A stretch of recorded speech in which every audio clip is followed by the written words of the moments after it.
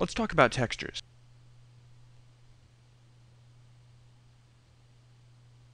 We'll work with the textures as TGA files. From those, we will create VTF files.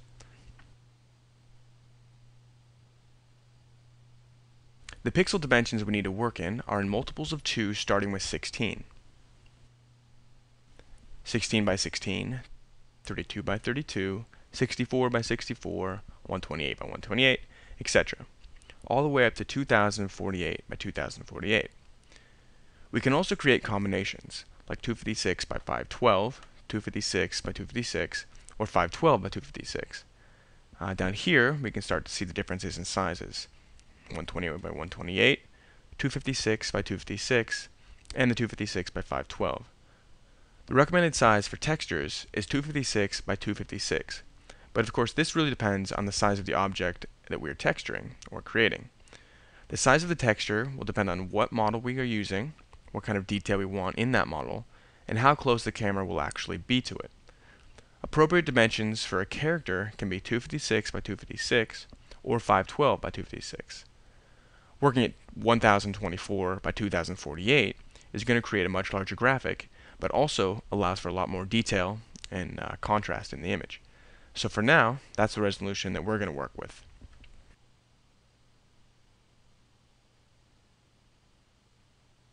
TGA files contain three primary colors, which are red, green, and blue, as well as an alpha or opacity channel.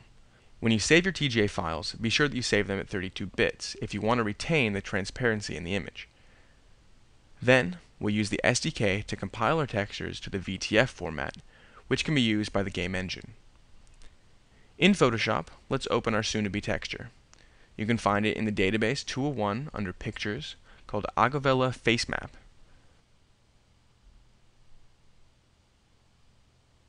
First, we want to remember to check the dimensions of the texture, which we were just discussing. 512 by 256. Perfect.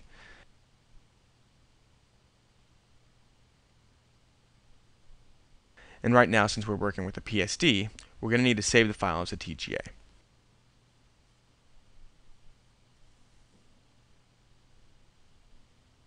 When we do, it gives us the option to save in either 24 or 32 bits. Since we don't have any alpha transparency in the image, saving it at 24 bits is sufficient. Now we'll actually compile some textures. We'll start with Agavella here, and then we'll go back and learn to create one on our own.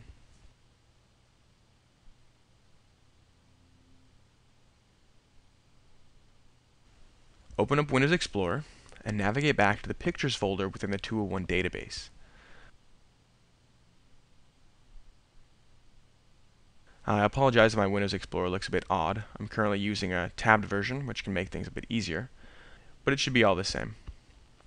Once inside the Pictures folder, copy the Agavella TGA,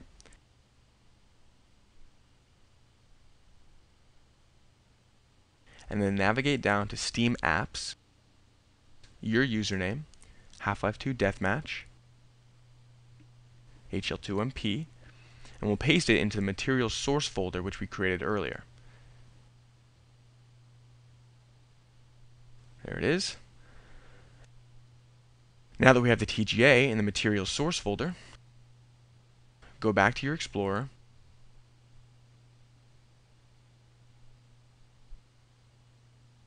and navigate to your local drive program files Steam, Steam Apps, uh, Neosis 3D, or your username, Source SDK, and bin. Here, we're looking for the vtex.exe utility program.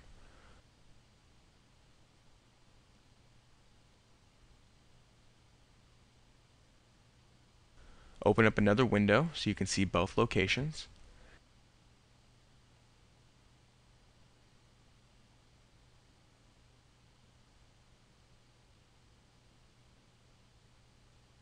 In this window, I have my FaceMap TGA, and what we're going to do is drag our TGA file to the vtex.exe program.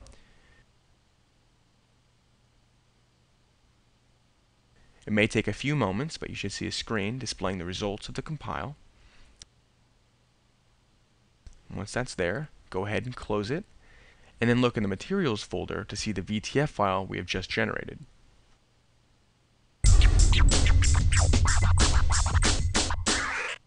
Next we'll create the face of the character using our own photograph. To do this, we must take a series of photographs. We'll start with the left profile, then one at 45 degrees, a front view, 45 degrees to the right, the right profile, and a back view. Once we have our six photographs, we're going to join them in Photoshop and create a face map. This is an example result of the unfolded texture. Here we can see the photograph from the front, the bit from the 45, the profile, and the back. I recommend checking out neosisinteractive.com for some free bonus materials, including one illustrating this exact process to create your own face map texture in Photoshop. Once the face map is created, go to the Database 201 Extras folder for some reference images. In Photoshop, we will try to match our image to one of these reference pictures. When we're finished, we'll follow the path and save it to the Male Group 03 directory. So to help us choose which existing Half-Life 2 character will be the best match for our new face, open the Database 201 Extras folder, and in Players, we have the face map template, which should help us choose the best match.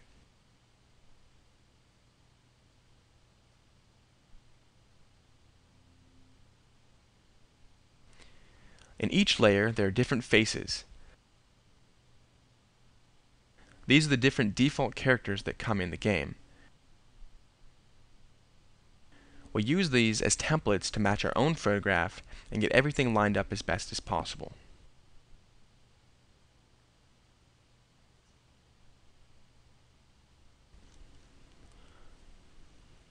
What we want to do is look for one of the pictures that is most laid out like our own, especially in regards to the proportion of the eyes, the nose, and mouth.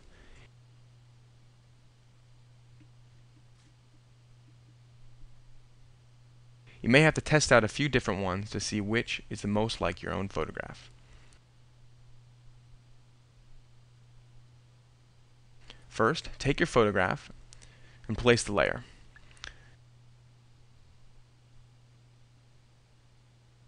Uh, you may have to scale it down a bit. Control T in Photoshop to scale. And I try to keep it more or less as proportional as possible. Now, move your image down to the bottom and turn off all but the first outline. Let's see. Looking at the template may be a little tough to match everything up. we can change the blending mode of our outlines to see through the white and make things a bit easier.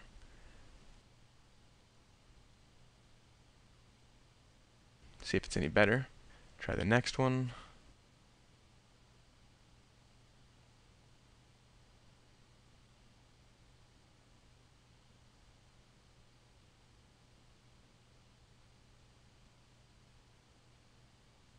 Change to linear burn to see the outline superimposed over our image.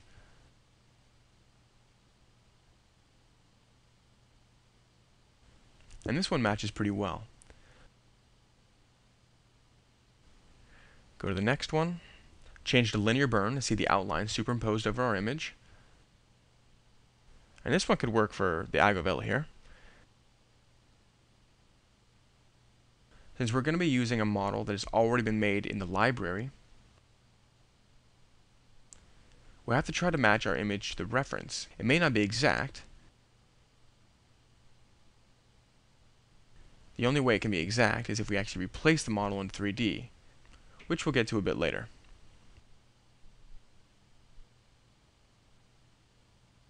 Now we're going to try to match up the mouth, the nose, and the eyes.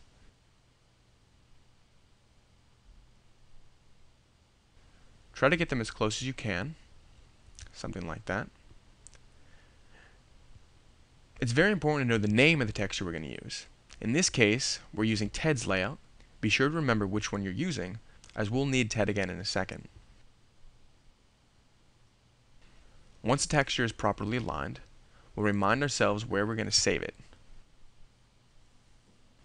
So in this case, since we're in Deathmatch Multiplayer, we're going to save it under HL2MP, Materials, Models, humans, then depending on if you're using a male or female, select that, group 03, and the name of the player, underscore face map.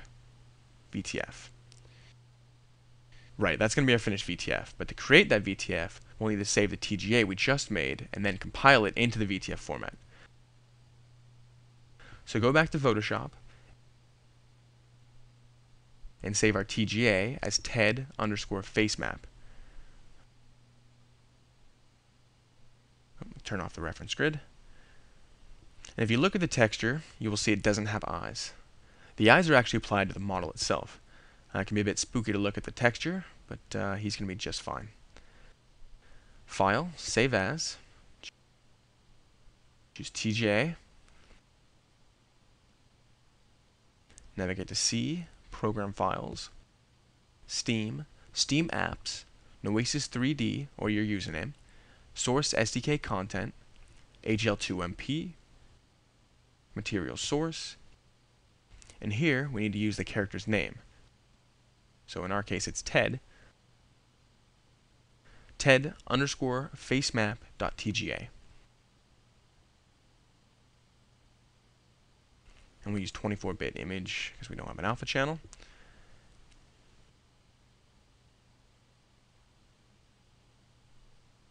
Now we're ready to compile. Open the Explorer, locate the file that we just saved under C, Program Files, Steam, Steam Apps, Username, Source SDK Content, HL2MP, Material Source, and we're going to drag it to the vtex.exe. And that's it. We're done. It's compiled to the Half-Life 2 Deathmatch HL2MP materials folder. There it is. Now we'll remind ourselves again where we need to put it. In the HL2MP materials models human male group 03. Uh, if that directory doesn't exist yet on your computer, go ahead and create it now. Models Make new folder, humans,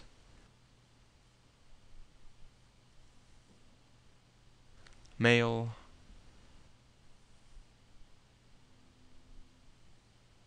group 03.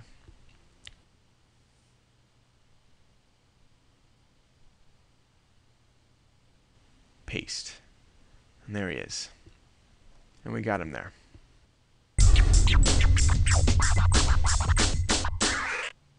Now we're going to create our own personalized icon for our guy using an existing template. For now, we'll create the icon using a photograph, but later on, if we want to be more creative, we can take a screenshot from inside the game and use that instead. Uh, in the DVD extras, under Players, open the thumbnail template.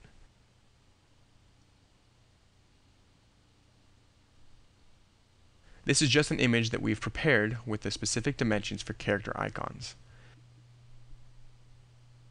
If the guidelines appear in Photoshop, you can go to View and turn off extras to make them appear or disappear.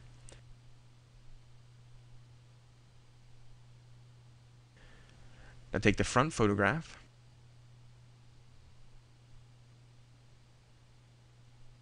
scale it to an appropriate size, however you would like it to look.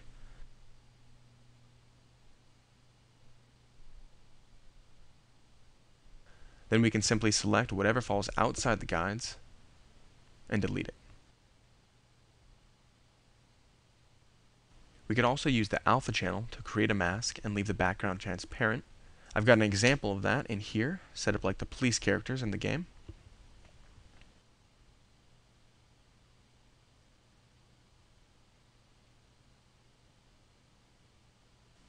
Now that we have the image prepped, let's see where to save it.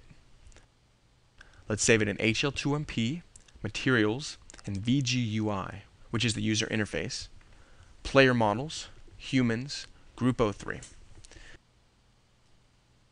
And this is important as well. If we use the van face map, we're going to save it as male 01. If we use Ted, we're going to call it male 02. Joe would be male 03. And the same down the line, including all the girls. If we use Cho, we would use female 01, Joey's female 02, and so on. So since we use TED, we're going to save as male02. Switch to our template. And we're going to call it, since it's TED, male underscore 02. File save as C program files Steam Steam apps your username. Source SDK content HL2MP materials source.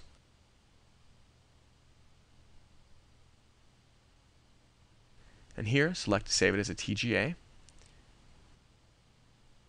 and again instead of naming it TED now we name it male underscore 02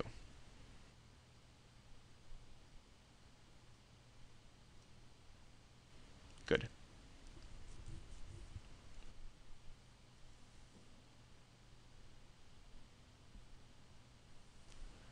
Now we're ready to compile it as our icon.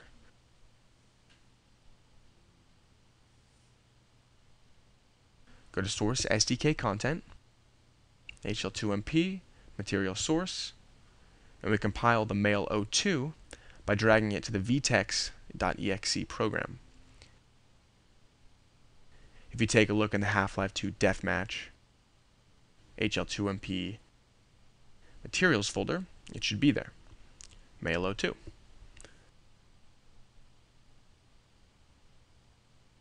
Now you can double check where to move it.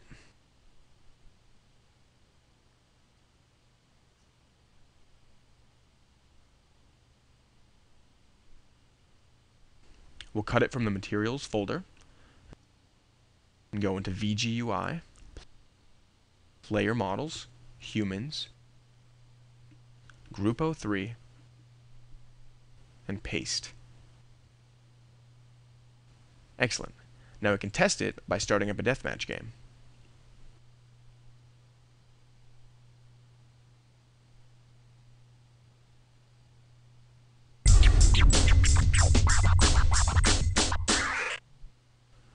Alright, so inside an actual deathmatch game, select Male 2, which is the character texture we've replaced. And you'll see the new icon that we've created. And once we're in, and obviously, since we're playing a first-person shooter, we can't immediately actually see our new face. What we actually have to do is kill ourselves so that we get a third-person view. We'll just find a good place to do it. Select a grenade. Turn towards the wall. Boom. Okay, so it's a bit odd, but by moving the mouse around you can see the texture looks to be applied correctly. Uh, let's try one more time. This time with the gravity gun. We'll launch something straight up. And... Cool. There's a new guy. He's just not looking very happy.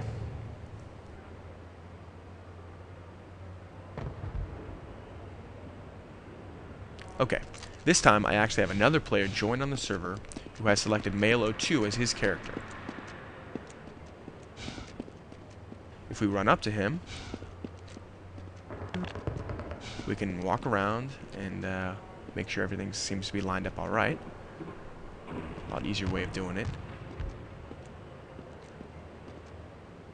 Once I'm content,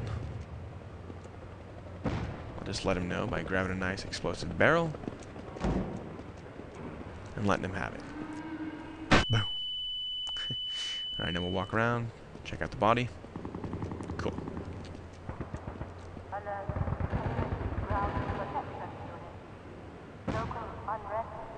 Remember that any changes you make in the folders for Half-Life 2, Deathmatch, HL2MP are going to be local to your computer. Your computer has your face, but if those files don't exist on another player's computer, they won't see the same characters as you do. They'll just see the defaults. If you want to share your face with friends, you must copy the textures onto the other player's computer, as well as any other players connected to the network. It doesn't matter if you're using a local network or the internet. If you're working on a shared local network, I recommend that you place all your models and materials in this case the newly created face maps, somewhere on the network. From that folder, each player can copy those materials individually onto their computer, and that way everyone will have the same materials and see everyone's custom faces. The folder that you're going to need to copy around is the user Half-Life 2 Deathmatch HL2MP materials folder.